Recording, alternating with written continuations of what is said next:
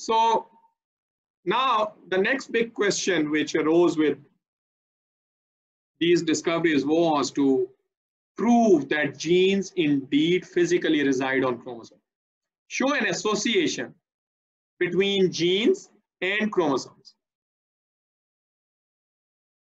And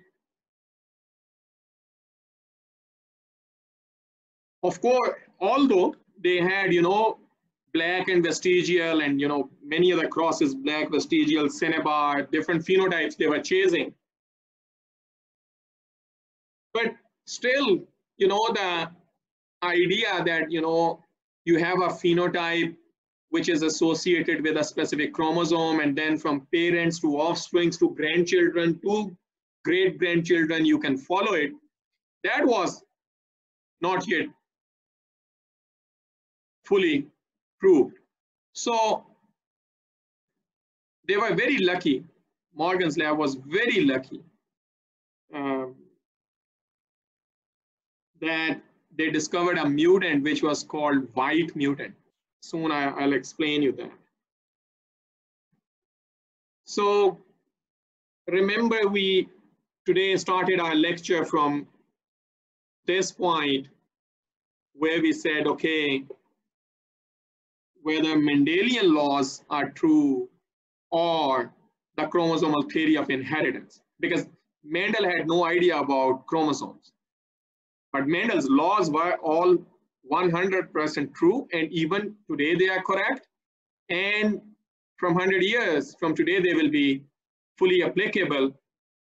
And Mendel was extremely lucky. He studied seven traits, and all the seven phenotypes he studied, they were on seven indi each independent chromosome. So that's why he could see always very nice law of independent assortment, fully, you know, applicable in his studies. But it was only after the discovery of chromosomes that, and then the genetic map Morgan's lab prepared, they said that, yeah, you know, it's basically association of genes and chromosomes and, you know, genes reside on chromosomes. And from there on, we started calling this chromosomal theory of inheritance. But the question was, they wanted to identify a chromosome uh, which should carry an allele which they can, you know, follow during generations.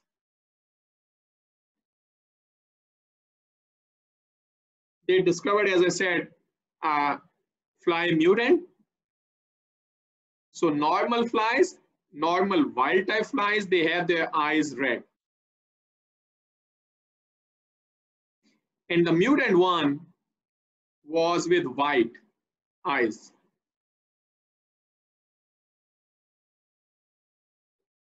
In flies, it's a bit confusing, but in flies, the name of the gene, which gives you mutant phenotype, so here is white, their symbol is used to give symbol of gene. So wild type, white gene will give you red eyes. White is the mutant phenotype.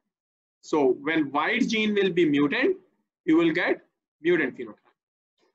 And you know, they, I explained you already this whole life cycle of fruit flies, why they chose this, because in 10 days they could see the whole, uh, you know, inheritance of phenotypes um, and then go to the next generation and then next generation instead of, you know, working with pea plants. Now, this discovery of white mutant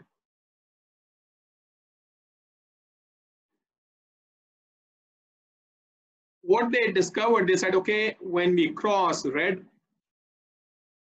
which is normal, wild type, WT means wild type, with white flies, all are red. So what is this phenotype then? What do you conclude about white phenotype? Recessive. It's recessive, okay? White is recessive and wild type is dominant. Okay.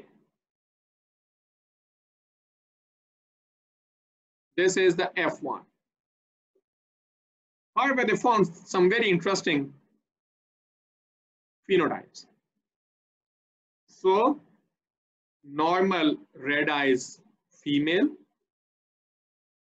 normal, uh, sorry, wide-eyed mutant males, all red eyes females, which tells us, yeah, white is recessive and dominant.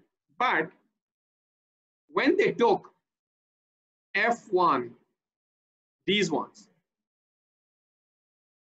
F1 red-eyed females and cross them with normal, normal means wild type, males, they got all daughters normal, but half of the sons were normal, half of the sons were white eyes.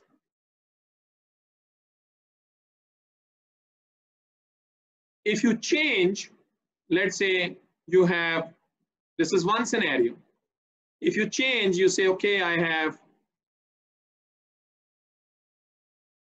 white mothers cross to red fathers. So you changed. Here you use normal red eye mother. Here you use mother white and father normal wild type. Already in F1, right away in F1, they got all males white and all females were normal red. So they got confused. What is happening? You know, the phenotype, white phenotype is recessive. How by just changing the phenotype of mother or father, different phenotypes are coming. And in particular here, when you have F1 red-eyed females, you cross it with normal, you know, you get half sons normal and half sons white. So they went back to literature. They tried to find what could be going wrong and they were lucky already in 1905, Nettie Stevens and Nettie and Stevens, they had discovered an odd pair of chromosomes. What they discovered, they had discovered that under microscope, when they looked at cells from females or cells from males, you know, they had same pairs of chromosomes, same homologs. They look, you know, similar, but one pair of chromosome was different. And this was called, they named it, since it's different, they said it's heteromorphic pair, not similar. All the other are homomorphic. Homologs means shape and size of chromosomes are similar. You will see if you draw them, they're like, you know, let's say the first pair of chromosome looks like this. Or the second one, you know, look like this. Third one pair may look like this. But one pair was different, which was like, you know, this. And they named this heteromorph. They discovered that this heteromorphic pair is present in females. In males, this differently looking pair is this heteromorphic pair is present in males, but in females, when they looked at this heteromorphic pair, in females, it was same, not heteromorphic. Both the homologs were there.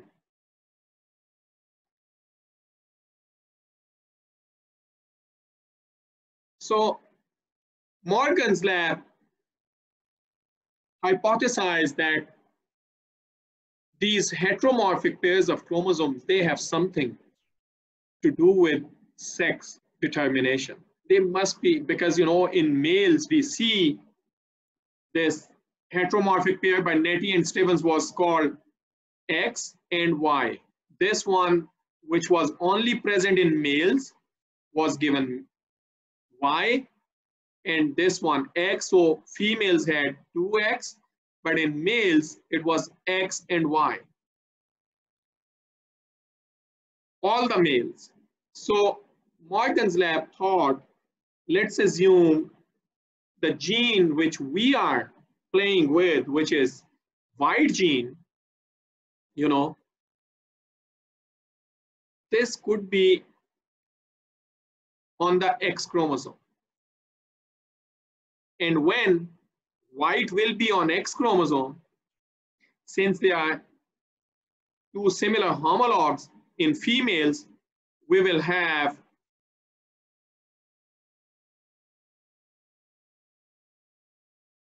white like this. And in males, it will be like this. Because there's one X and the other is Y. And they said, using this, we can explain the strange results. Now assume we have normal red eyes. Normal red eyes, there are two X chromosomes in this female. So normal red means it's dominant allele.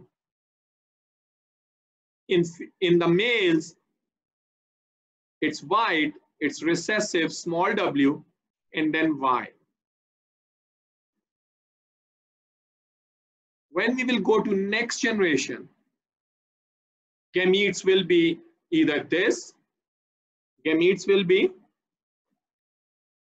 capital W or capital W by female and small w or y by male.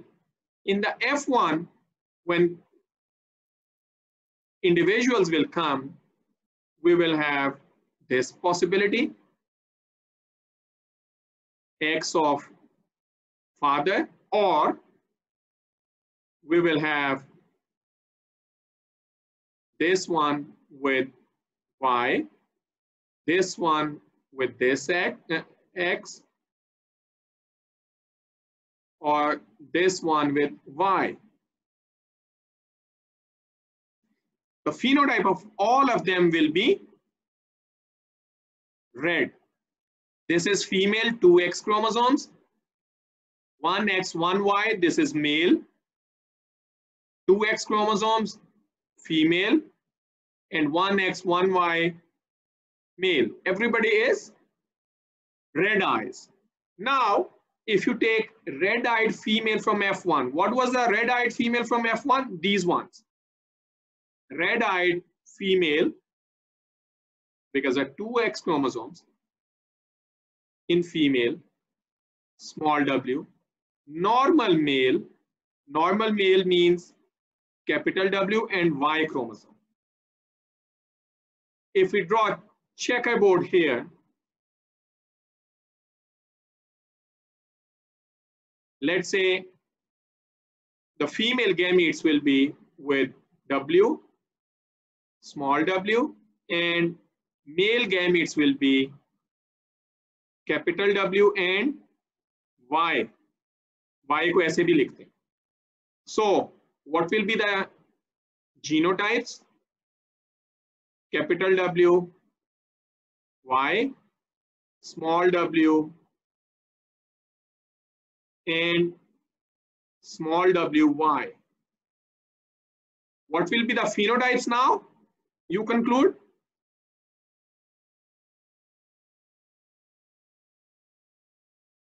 Phenotypes क्या होंगे आई colour के हिसाब से three ratio one three red and one white Think again.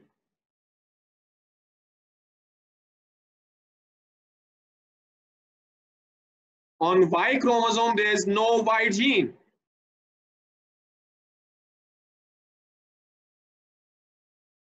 Because Y is not homolog of X. So what will be phenotypes?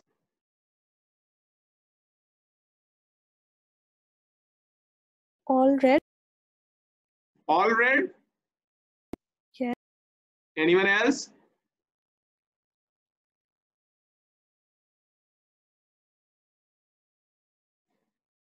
Okay, first tell me which ones are males, which ones are females.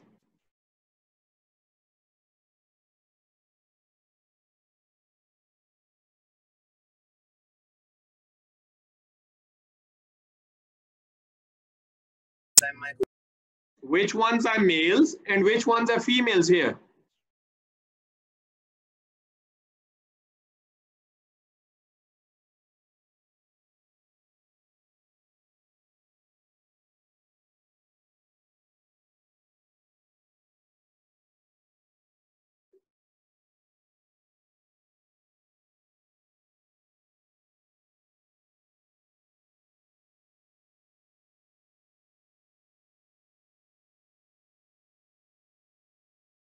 जनाब कौन से mails हैं कौन से females हैं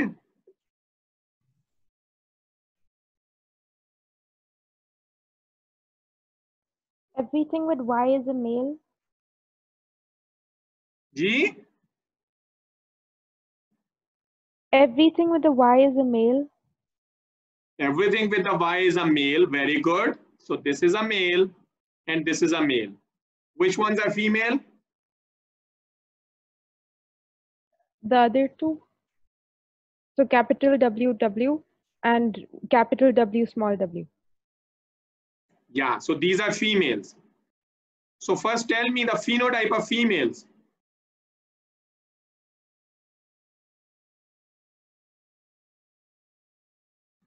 red eyed, both of them.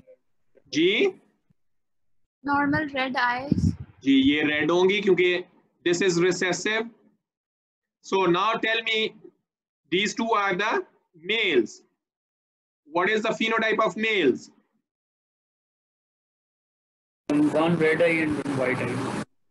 one red and this one is red because this is dominant. Since there is no copy on the homolog chromosome they assumed. So whatever the single copy is its effect will be there. So this one will be white and this one will be red is it clear Yes, sir. Good. So now let's move on.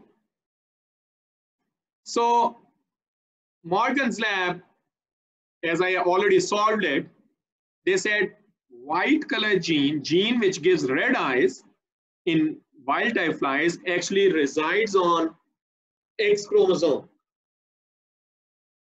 And since it's a recessive phenotype, whenever we will have homozygous recessive mutation in the white gene in females because it's it lies on the x chromosome and in females there will be two copies of x chromosome we will see white phenotype. But if it's a heterozygous we will see red eyes in females. But since there is only single x in the males and y chromosome does not harbor the white gene if we will have white mutation on single X chromosome of males, the phenotype will be white eyes. This is what we just learned. So this is what they did it. And you know, you can change parents, sex of, you know, different crosses. Like I already did some there on this slide, you know, you can manipulate, use normal red females, white males, you know, white females, red, or here you can say, okay, I take um, the normal males from F1, not the normal, we will say red-eyed males. Instead of females, let's take males and then take normal wild type female. What will be the what will be the uh, outcome in the F2? So these kinds of crosses, you can do it yourself and then predict the phenotypes. So this was the first ever time because you know they, they could pinpoint that you know gene which causes red eyes it's very nicely drawn here. It's lying on the x chromosomes. This is male or female? This one. Female. Female. this is female. That because we have two x chromosomes. Male has single x and this white block is showing mutation which means small w and red is showing capital W. Why it does not harbor? Because it's not a homolog chromosome. And then you can go through this scheme and tell us what are the phenotypes. You just change the sex of the fly, which contains white. So here you have, you have homozygous recessive female and male has normal wild. You can see the phenotypes. बस ना ये तो Clear? Time बहुत है पंद्रह minute और है मगर ये तो नहीं छोड़ेगा So मेरी बात मुझे बस ये बता दें कि इसने क्या क्या please mute your mic, Roha. So this was also not only the discovery of white gene or, you know, mm, it was discovery of a gene, G. Josefa, sir अ, दी अ, ये एक्स और वाई क्रोमोसोम की अ, सिर्फ कुछ traits के ऊपर ही होगा ना जो कि एक्स और वाई जीन के ऊपर मौजूद है अगर Sorry, मुझे आपकी आवाज नहीं क्लियर आई प्लीज दोबारा बोलें अम, सर जो ये कुछ चीज़ें जैसे कि आई कलर वगैरह हैं, ये एक्स और वाई जीन के ऊपर डिपेंडेंट है, इसलिए इनमें ये वेरिएशन आ रही है, बाकी क्रोमोसोम्स के ऊपर तो इसका इफ़ेक्ट नहीं ना होगा। जी, मैं उसी क्वेश्चन पे अभी आने लगा हूँ very good question so this not only proved that, you know, genes physically reside on chromosomes and, you know chromosomal theory got one more validation that you know chromosomes are basically the structures of inheritance and the inheritance of traits uh, from one generation to next actually depends on the genes which reside on these chromosomes. It for, for the first ever time linked, you know, genes with specific sex and inheritance. We call this sex specific inheritance or sex linked inheritance. Okay. But it also led to discovery that, you know, determination of sex. So in in next century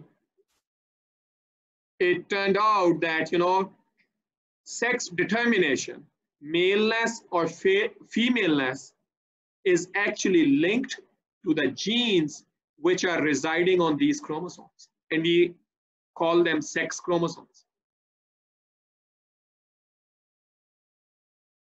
and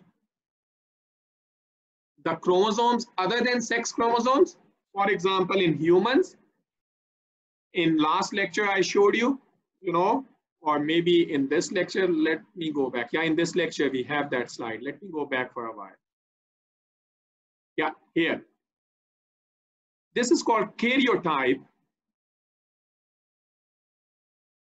You see, these are the two sex chromosomes, X and Y. All the others they are called autosomes.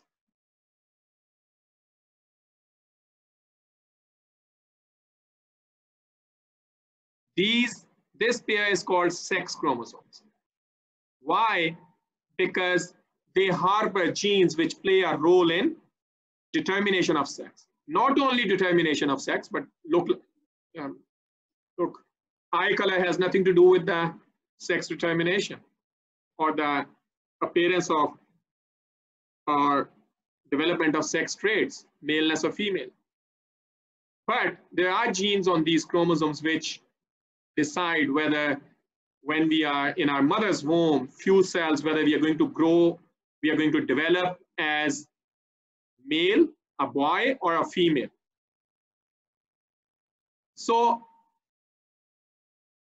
Morgan's lab not only discovered sex-linked inheritance, but also, you know, later on we learned that, you know, there are chromosomes, which we call autosomes and chromosomes, which are involved in determination of gender. And we call them sex chromosomes. What is the evidence? So now what we know that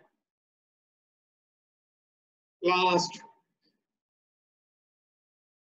50 years or so, we learned that yes, indeed, uh, determination of sex is due to presence of either two X chromosomes or one X and XY.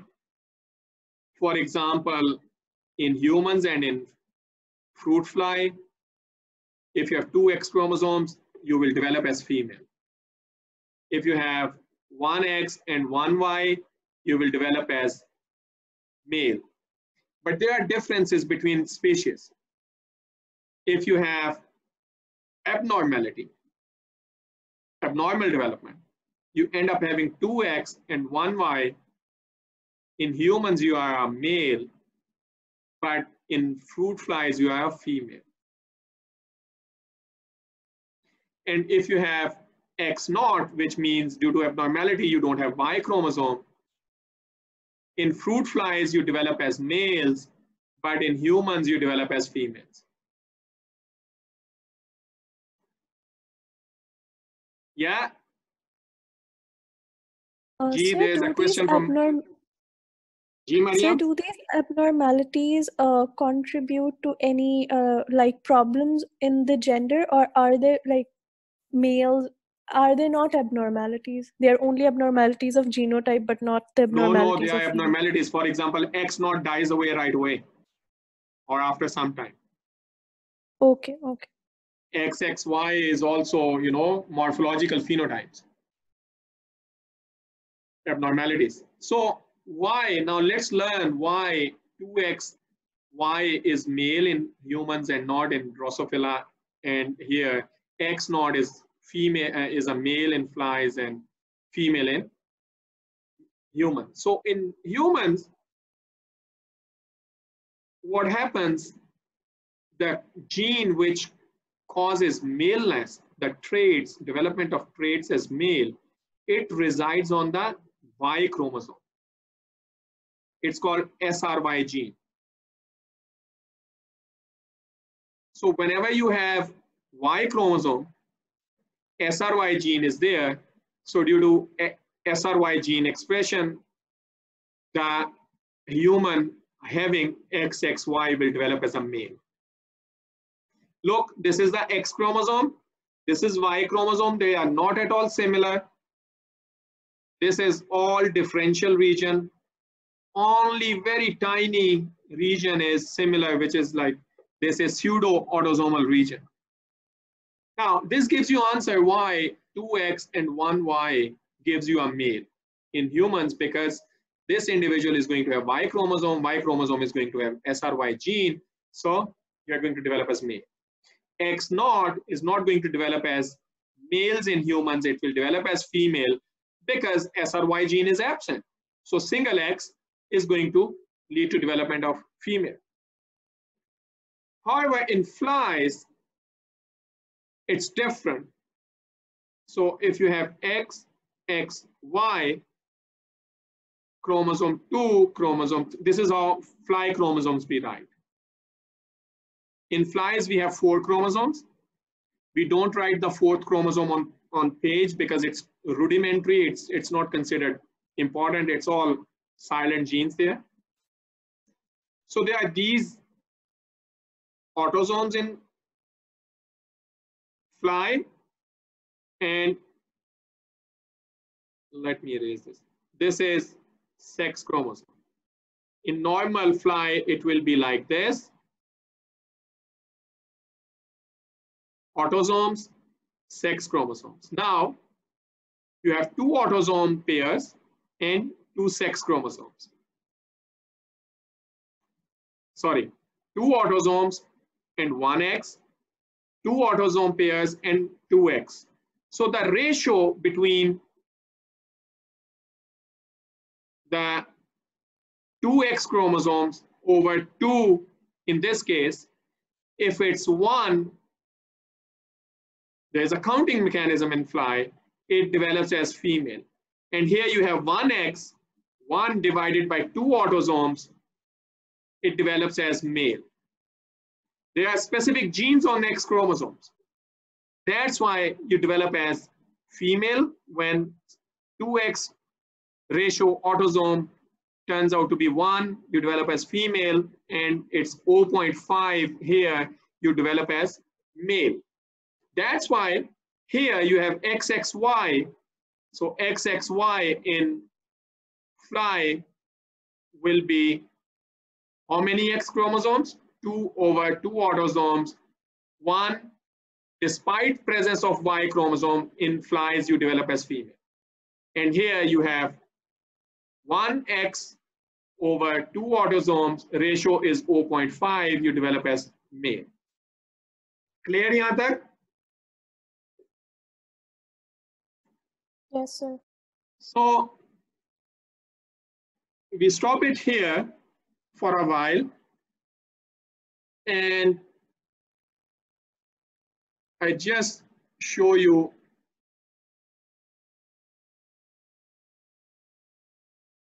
another. So that, that's all for Mendelian genetics, law of segregation, monohybrid cross, law of independent assortment, the dihybrid cross, the crossing over recombination, and the genetic map, and finally, the sex-linked inheritance. All of them are involving complete dominance, complete dominance. Red versus white, it will be either red or white based on its uh, dominant or recessive trait. Tall versus dwarf, yellow versus green, round versus wrinkled, etc. However,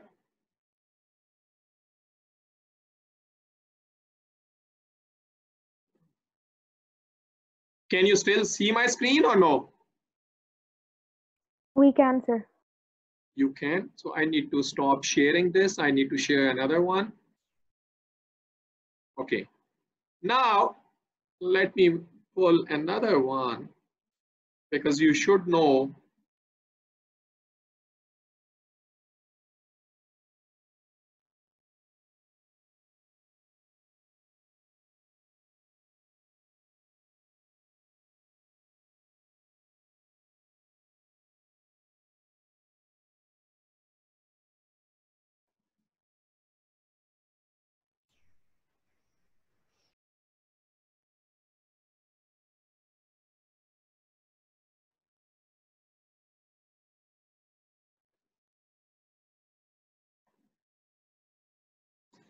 there can be sometime in genetics.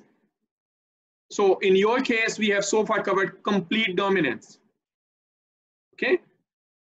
All the traits we studied, we had complete dominance. But sometimes you may come across situations in genetics where you have incomplete dominance. Incomplete dominance means you crossed a red flower with white flower and your F1 is pink. Neither red nor white. You self-cross pink, F1 pink with pink, and what you discovered, you discover, you know, one red, two pinks, and one white. And you are, you are confused that, yeah, you know, how come I have, you know, I crossed true breeding, pure line, red, with true breeding, white, and you know, I get pink. So this happens when we have incomplete dominance and we can write it here, for example, phenotypes, red, cross to white. It's written here all. In F1, we have pink. Always write phenotypes first. We went through uh, self-crossing in F2. We get a ratio in which we have one red, two pinks, and one white. You say, how is it possible? So you can assume, you say, okay, I have red, white, and the pink will be this one because, you know, based on the genotypes, this is on the possibility. So in this case, it means it's incomplete dominance. Red is not completely dominant. That's why it's giving you pink. And when I cross this thing, self cross, what I get? I get this, this, this, and this. So two pinks, one red, one white, this one. This is only possible when there's incomplete dominance. Remember my, my, my, my uh, point. We have covered everything we, we, we learned that is only through complete dominant. I'll upload these slides. This gives you, you know, genetic map. How can you, you know, have genetic map, you know, the centimorgans. This is showing you centimorgan, the distance between two genes, yellow body color and white eyes and you have eye color, vermilion, and miniature wing. And you have a gene rudimentary wing. I brought this slide just to show you how using recombination, they map different phenotypes and their linked genes. For example, they discovered body color. Normal body color, we said, is brown they discovered a gene called yellow. Okay, and they donate, uh, they use small y for yellow. They, since yellow was also on the X chromosome, they did this recombination analysis what Sturtevant did for black and vestigial.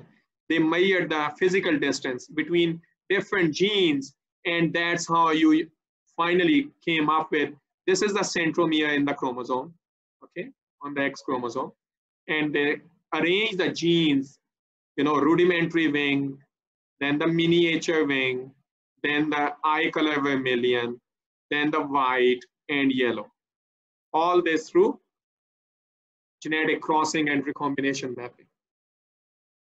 You can also assume A, B, C different genes um, look at parental, non-parentals and calculate genetic distance. In your course, we will not go to this multiple loci, which is shown here. We will only take, let's say, two points, point A and B, or B and C, or A and C. At any given time, we will only talk about two points, two genes, and we will ask you, you know, calculate the physical distance between the two genes based on recombination percentage. Clear? Any question?